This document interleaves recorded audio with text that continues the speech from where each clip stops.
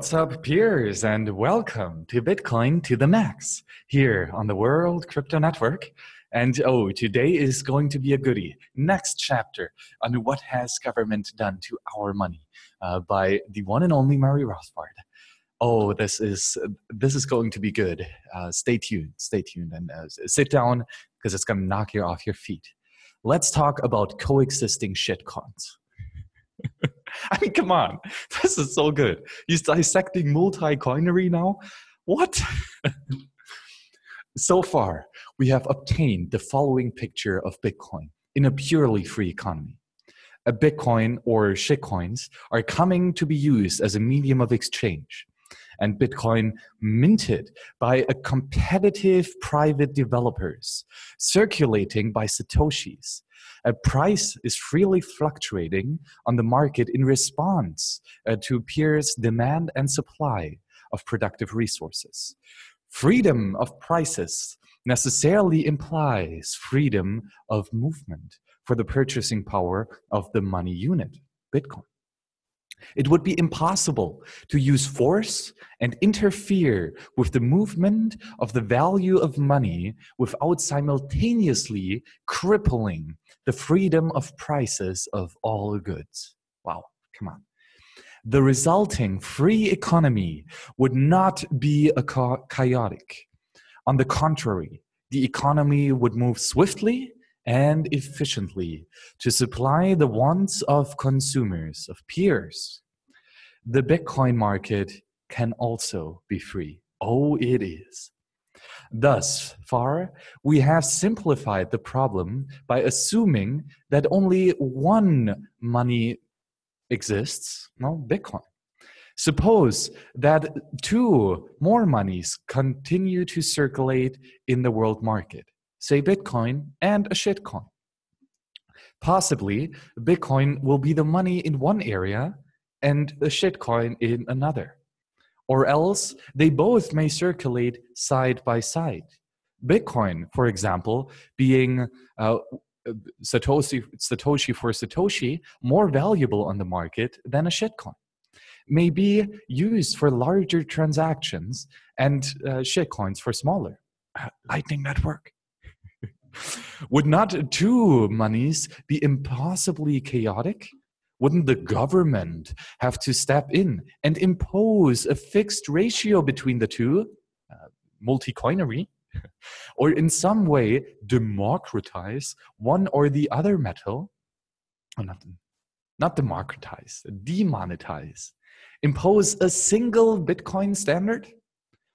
It is very possible that the free market, given free reign, will eventually establish one single money, Bitcoin. But in recent centuries, uh, shitcoins stubbornly remained to challenge Bitcoin. Peers, are you reading the same that I'm reading? This is this is so good. It's so good. It's not necessary, however, for the government to step in and save the market from its own folly in maintaining multi coins. Shit coins remain in circulation because it was uh, because they were convenient uh, for small change, for example, Lightning Network, silver, uh, shit coins, and gold could easily circulate side by side and have done so in the past. Oh, look at CoinMarketCap, it's a shit show. the relative supply of and demand for these uh, two coins will determine the exchange rate between the two. And this rate, like any other price, will continuously fluctuate in response to these changing forces. At one time, for example, uh, shitcoins and uh, Bitcoin uh, might exchange at 16 to 1, more like like 100 to 1. Another time at 215 to 1, etc. Which coin will serve as the unit of account depends on the concrete circumstances of the market. If Bitcoin is the money of account, then most transactions will be reckoned in Bitcoin or Satoshis. And shitcoins will exchange at a freely fluctuating price in terms of Bitcoin. Are you, are you, I hope you're reading this. I mean, it's, it's so good. It should be clear that the exchange rate and the purchasing power of one unit of the two met or two coins will always tend to be proportional. If the price of goods are 15 times as much in a shitcoin than they are in Bitcoin, then the exchange rate will tend to be set at 15 to 1. If not, it will pay to exchange from one to the other until parity is reached. That's arbitrage. Thus, if prices are 15 times as much in terms of a shitcoin as gold, while shitcoin to, to Bitcoin is 20 to 1, well, peers will rush to sell their goods for Bitcoin and buy shitcoins and then rebuy the goods with the shitcoin, reaping a handsome gain in the process. This will quickly restore the purchasing power parity of the exchange rate as Bitcoin gets cheaper in terms of the shitcoin, and the shitcoin price of the goods go up, and the Bitcoin price of goods go down. The free market, in short, em- eminently or em- the free market, in short, eminently orderly, not only when money or Bitcoin is free, but even when there is more than one money circulating. What kind of standard will be will a free market Bitcoin provide? The important thing is that the standard not be imposed by government decree. Because currently, well, the US dollar shitcoin is, okay, is imposed by government decree. If left to itself, the market may establish Bitcoin as a single money, the Bitcoin standard. Well, read Cypher The shitcoins and uh, is a single money, uh, or perhaps more likely both as money with freely fluctuating exchange rate, a parallel standard. Well, you see that? Shitcoins will exist, uh, but they don't have a chance against Bitcoin.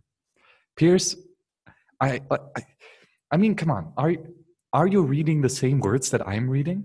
This was written in 1963. Murray Rothbard has predicted the shitcoinery that is currently happening. What? This is this is insane. Rothbard is too good. Really, he is.